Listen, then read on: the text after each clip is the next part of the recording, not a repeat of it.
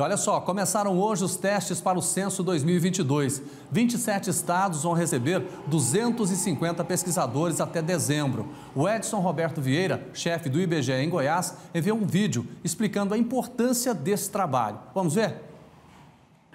Nós estamos nos preparando para realizar o censo no ano que vem, o censo demográfico, né?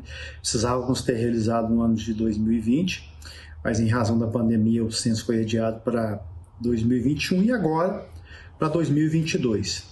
Neste momento, nós estamos organizando um teste nas 27 unidades da federação do IBGE. Portanto, um teste muito importante para a gente anunciar o censo, anunciar e testar, testar equipamentos, testar sistemas de coleta, testar equipes, testar sistema de treinamento então é fundamental que isso seja realizado com êxito para que a gente tenha também êxito no ano que vem, quando formos realizar efetivamente o censo, indo a campo a partir do dia 1 de junho. Nós já tivemos a primeira etapa do teste do censo 2022 realizado na ilha de Paquetá, no Rio de Janeiro. Né? E aqui em Goiás, nós vamos realizar no município de Damolândia, que fica a 60 quilômetros aqui da nossa capital.